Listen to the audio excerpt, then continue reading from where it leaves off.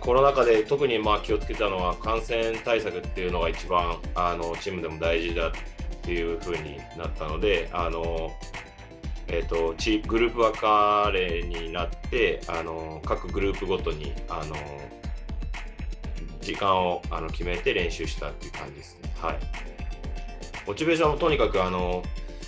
グループで練習するんで少人数の練習になるんであのとにかく個々のレベルアップをあのしっかりこの期間にできるようにということで監督から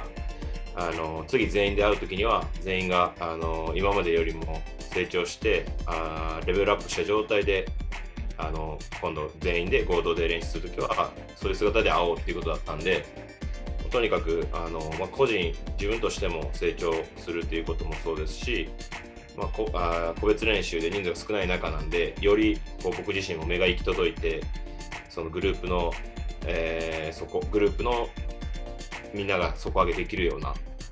えー、感じでこう練習できたんでそこはすごい、まあ、モチベーションというかとにかく成長するっていうことが、はい、モチベーションでした。はい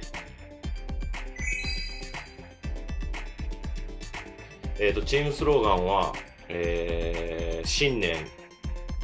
えー、ウェルビーイングです。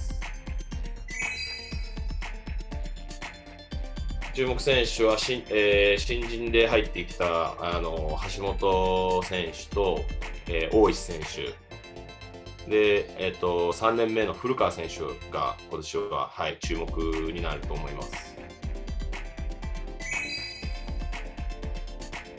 警戒するチームはもう全チームですね。もう近畿もあの予選も厳しいですしあもちろんスポニチの当たるチームもあの僕らより、まあ、去年ベスト4に行ったという結果はありますけどまだまだこう挑戦者の気持ちでというか、はい、どこのチームが来ても常にもあの全員がライバルだという気持ちで、はい、やってます。優勝に向けての抱負としては、えーと、若手、中堅、ベテランとあのチームでもあのとにかく一丸となってあの戦おうということをあの今年僕は常に言い続けてるんで、あの、そういう戦い方、若手が、